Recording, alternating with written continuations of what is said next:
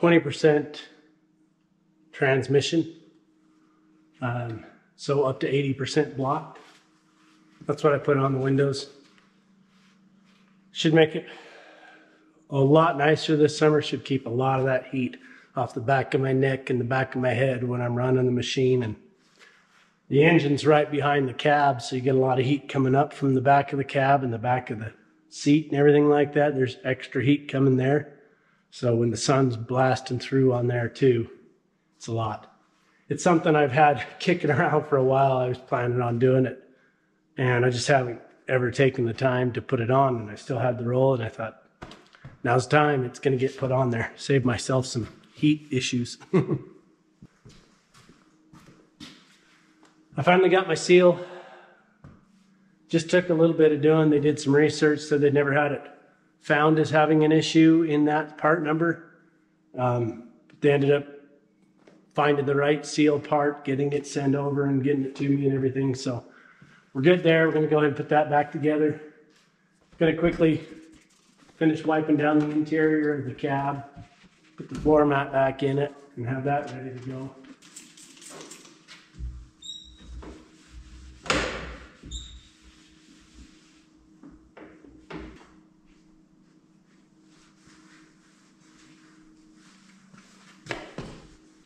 That's the intake to the cab for the air. And there's an intake air filter that I just put in, but it's in about five or six inches. And I get a lot of dust inside the cab. All it really has is this kind of pre-screen thing that mostly just keeps bugs out. So I took my old cabin air filter, just kind of busted the dust out of it and everything, got it pretty well cleared off. Cut it open and put it in there and laid it in there just as kind of a pre as a pre-filter. And then I'll put this back together and back on the same way it was. And I'm sure it's probably going to plug up pretty quick. And that's okay.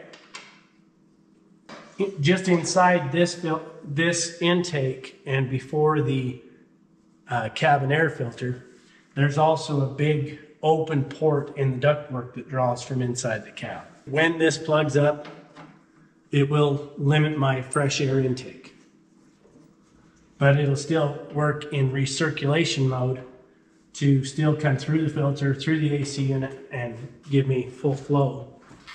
Without everything coming straight in here, plugging up that filter, and dumping dust into the cabin should make enough of a difference that I should be able to keep my doors closed and my windows closed when I'm working. It sure gets dirty inside there and you get dirty and breathing dust and all kinds of stuff. That's the next glass I'm gonna have to replace sometime. Since I've owned it, it has had this piece of plexi in for this lower glass instead of the correct glass. And it's basically been fine up until the last year or so. And it really started to fade yellow since then. So it'll have to be replaced soon.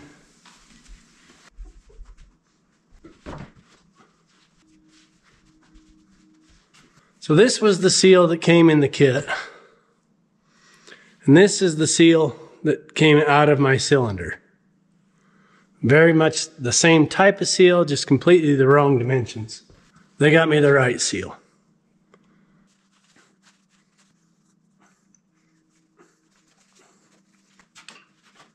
Give that a little bit of a pre-oiling so that none of that's going together dry. And I mentioned this in the previous video, but the reason that this was bleeding off and bypassing, I believe, was not because the piston seals were bad. Once I got into here and got it opened up,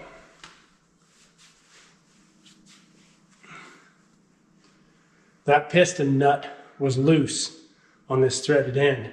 It had backed off almost a full rotation, which brought it quite a ways up off of the surface here. So there was no way to seal those threads. and would allow a slow passage of oil to come through the threads and out the end. So I don't believe that those seals were bad, but if we hadn't tore it down to replace them, I never would have found that thing being loose till it was too late. And too late in that situation would mean uh, would mean that it had come apart.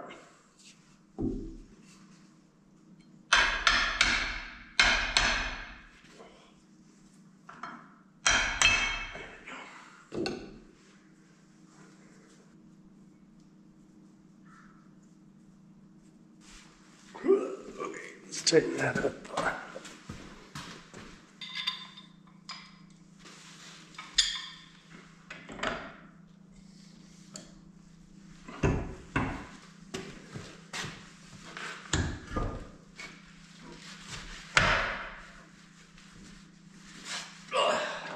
Okay.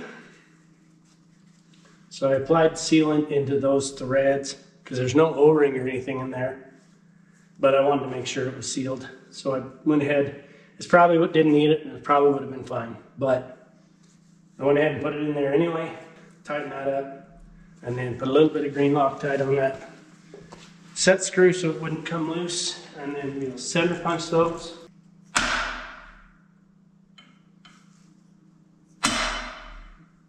Okay, should be ready to back together.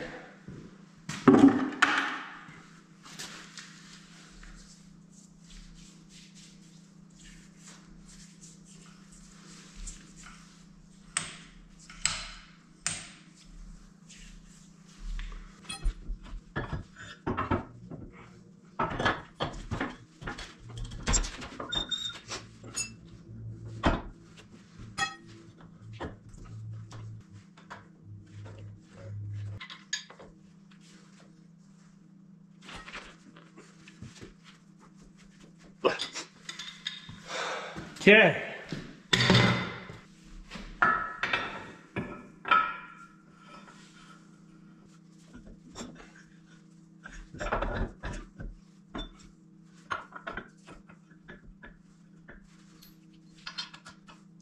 I rotated that pin. Since that pin bolts into this thumb, it stays stationary with the thumb. That means that the primary wear on that cylinder is pushing on that pin. So most of the wear that that pin will take is going to be on this cylinder side of it as it rotates through. So by flipping it over, now I've adjusted where the wear is going to hit that pin and should stretch the life of that pin a little bit longer.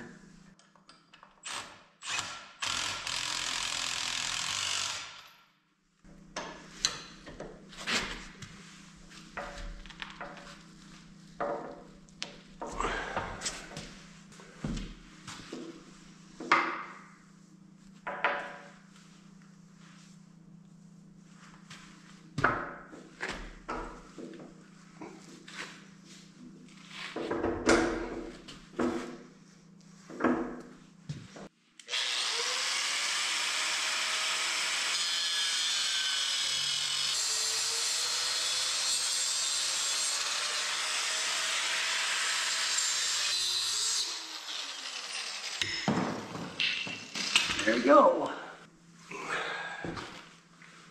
Never did like that lifting hook very well.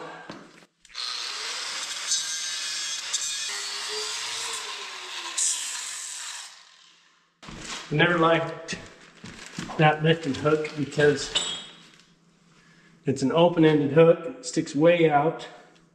It's always digging into stuff. And it's not the right size for a clevis bolt to fit through, so I can't clevis anything. And if I do, it's still open-ended and has a chance of coming out. So, while I'm doing the thumb welding, we're going to weld on 5 8 D ring. That'll work a lot better for me. Should do the trick. I need to do these final drives. This side needs to roll back about six inches uh, get the drain bolts up and down vertically so they'll drain good. That side needs to go forward about a foot. So go ahead, and start it, and get things checked over from doing the service. And then I'll roll this track back and that one forward, and we'll kind of just twist the base for a minute, get it in position so they can both drain. So let's guess start this.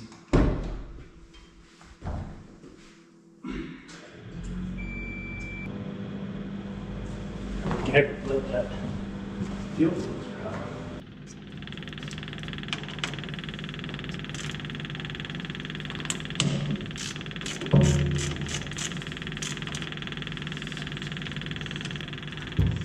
Guess it also only works if I put fuel back in it.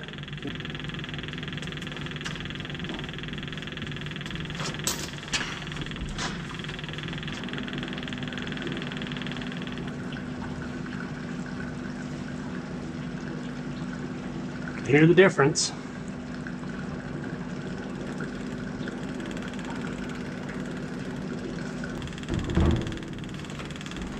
Before I get trying to do two things at once and end up with a mess.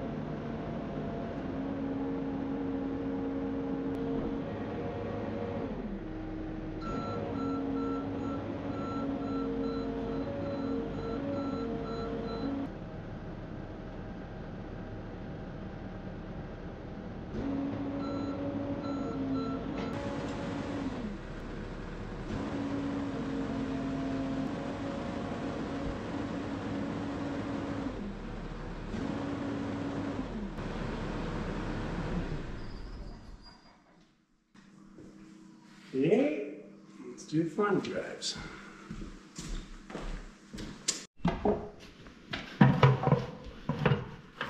That might work. Ooh. Gotta get that in the tap first.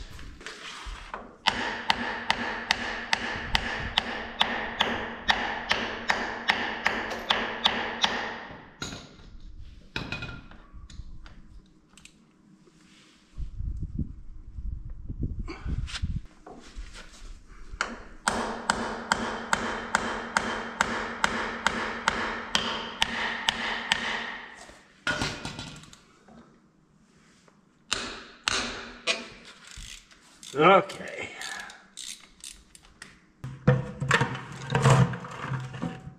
No, it's not going to hold much.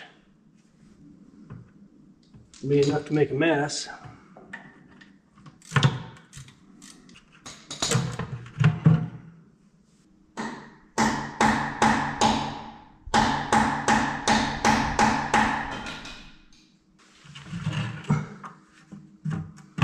Those might need a few minutes to drip. So, guess I'll finish greasing the rest of the machine while that's dripping. So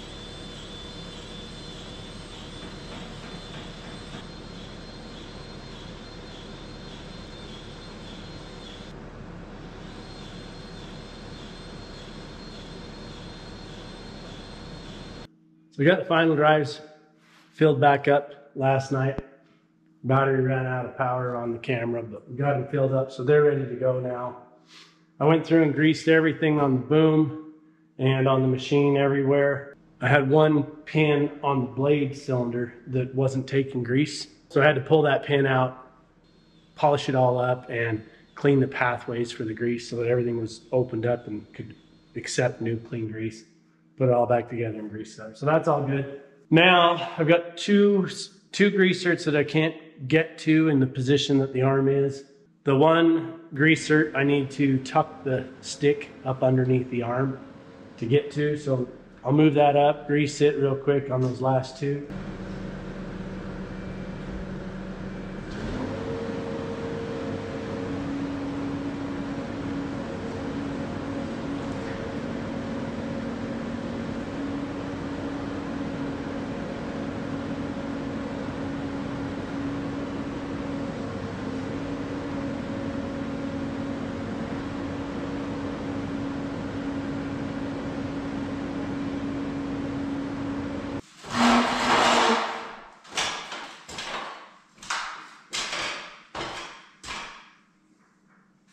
All right, that other one's still not taking grease either. And it's the rod end of the cylinder for the stick. So I'm gonna have to pull that pin. I've got it positioned with the stick vertical and all the hydraulics have been relaxed. That's why I turned the key, shut the machine off, turned the key back on to activate the controls, and then moved all the levers to open the valves and let any backup pressure or built up pressure in the cylinders just relax and bleed off. So I'm gonna go up there, pull that pin out, polish it up, clean it up, open up the pathways for the grease and we'll put it back in.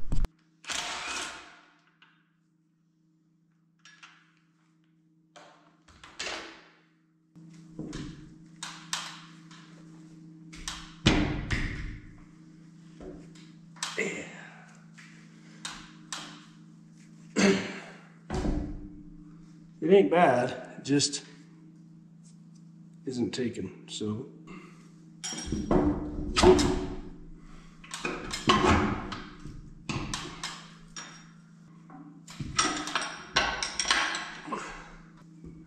So it's probably,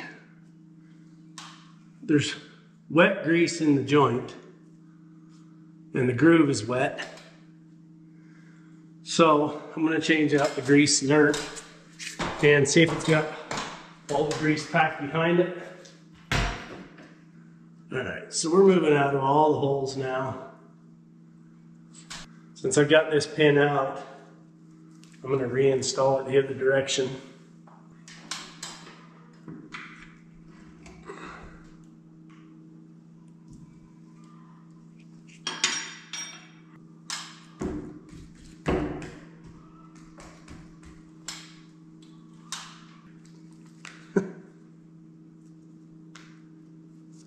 That of grease.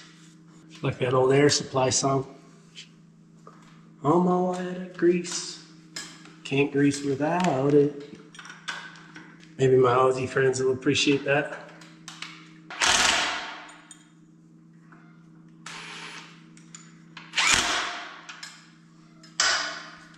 I'm a baby boy in my family and had we got six sisters and two brothers.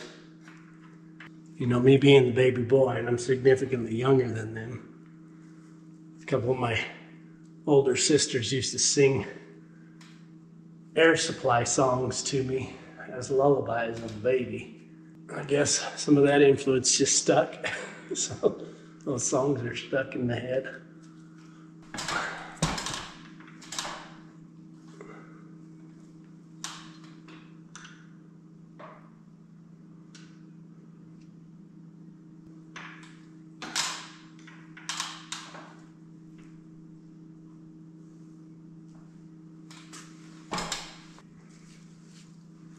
Oh, that made a difference already.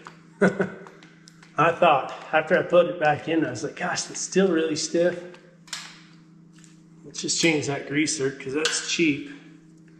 Made all the difference. Made a lot easier. Now on welding. I've got one crack right here I noticed starting on the blade. Just a little crack starting in right there. So I'm gonna grind that out, drill out the ends and weld that up and we'll go ahead and get started welding the thumb extensions. I took a minute and went online to the CAT parts lookup because they have full CAD drawings of every part there. And I could see in the picture of the thumb, I counted along the thumb and I've got six spiked teeth along the face edge of the thumb. And then there's about an inch and a half last little straight portion of the thumb that makes the end point.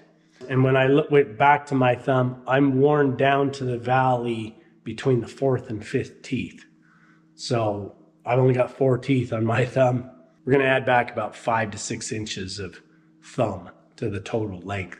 It's just how far that's worn down over the years doing boulder walls and stuff. So we'll get that templated and cut out of this three quarter inch plate that I picked up from the salvage yard. And then we'll cut that all out and get the extension piece cut times two. And then I've got some hard facing rod that we're gonna go back over those teeth points and the face of the thumb and just put them, put a bead of hard facing down in there to help with that abrasion and help make it last a little bit longer. Then we'll pull the pads off of the tracks. And then this thing's ready to go down to the driveway and start digging.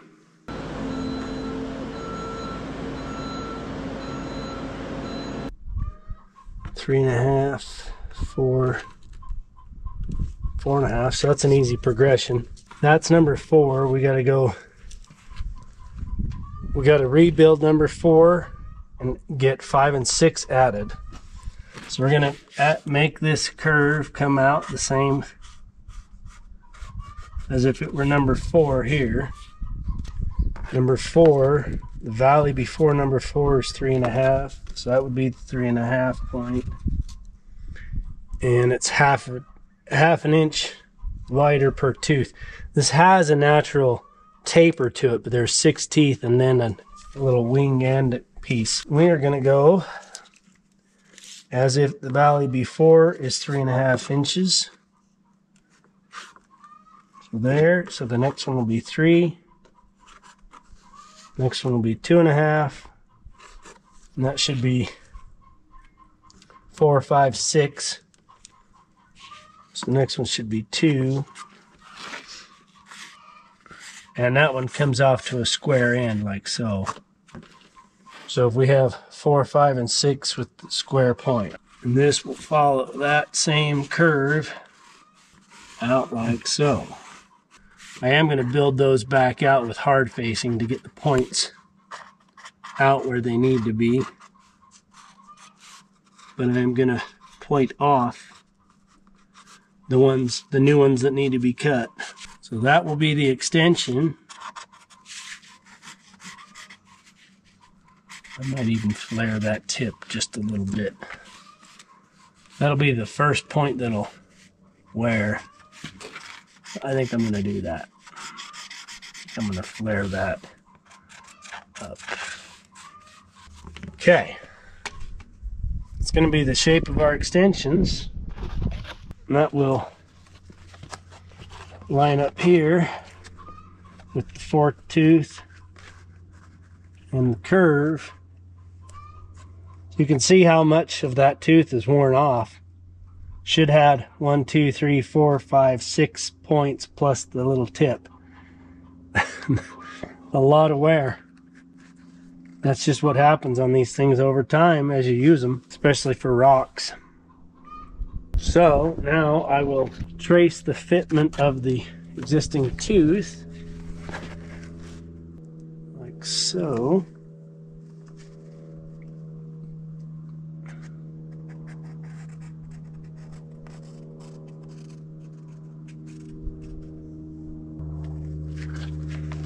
And that should pretty well fit to both sides. Yeah. So that'll give me, so this fourth point's not gonna really be part of that cut because I'm not gonna get it on there. I'll just build this fourth point out with hard facing, just like I'm gonna do to these. I'll bring these back out to a bit of a point with hard facing rods so they're a little bit taller. And I'll do that same thing here. So my, my tip extension will start right in here and come up to there and just fit onto that and extend back out. It's the plan.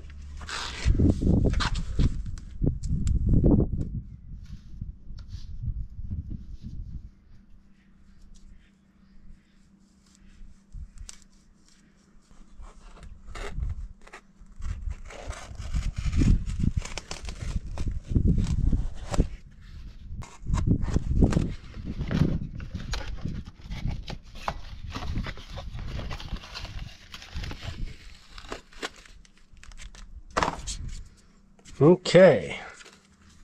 Well, that's good. I've got plenty of room to get that on there.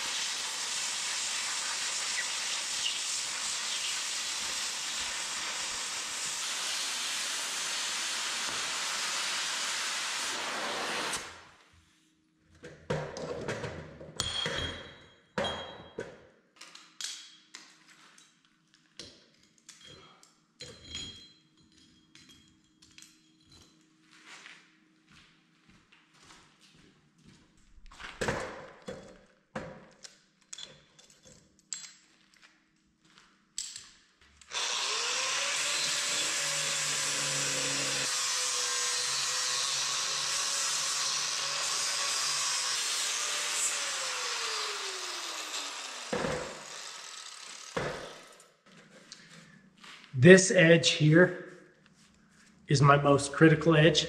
I want that to be a nice clean edge with a really nice deep bevel because that's the edge that's going to weld on. So I'm going to need to get a deep penetration bead in there first and then build up the multi-layered bead to get a good weld across that. This edge, I just want to dress it up kind of nice. Same with the point here. This stuff is going to be the first to wear off, so I don't even care if there's torch marks in there or anything like that. Plus, I'm going to lay a couple of beads of hard facing weld across those ridges. So none of that really matters. I'm just trying to mostly take off the slag from the torch. And that's really about all. Not critical grinding here, just cleaning it up.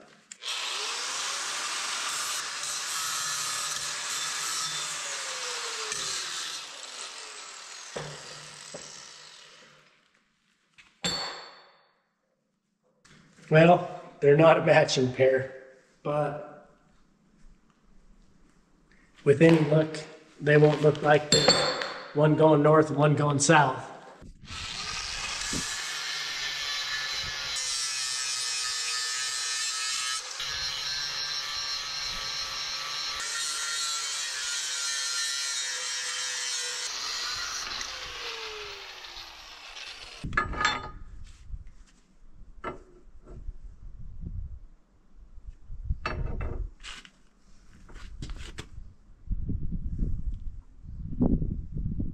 Something like that.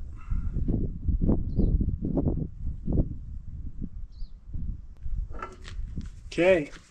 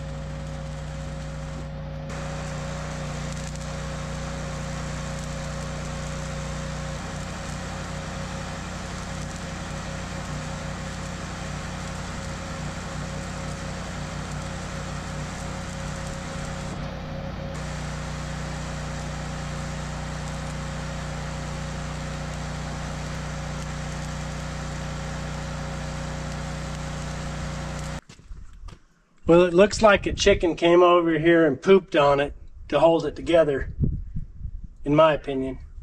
But I think it's stuck. I got too much respect for welders to call that welded, but it's probably stuck.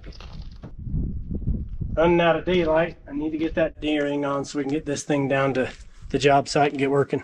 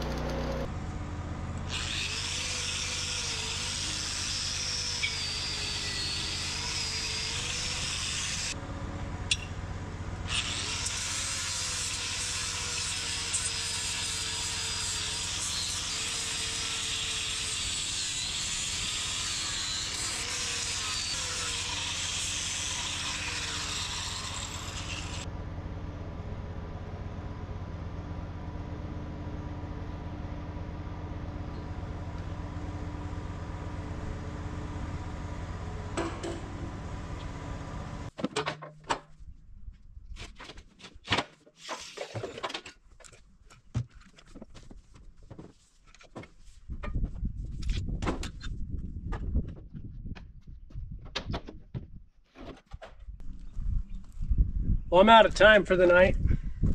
Only thing I have left is to unbolt the pads as I come off the concrete. It's not going to take long. It'll be a quick thing. I'm going to do that in the morning as I get started working down below. For now, I'm going to get over here, get my digging bucket on, and double check the clearances and tolerances with the new thumb extensions. And then I will get it all prepped and park it for the night. And then tomorrow morning, we'll rip them pads off, check the tracks, and go the heck to work down below. It's almost sundown. Sun's gone behind the mountains. And we're just setting up for a really beautiful full sky sunset. But I went ahead and took a minute and undid all the nuts I could get to. I could get to every single one on the outside. The inside, a little bit more complex. So I got to everything I could reach just to get a head start on the morning.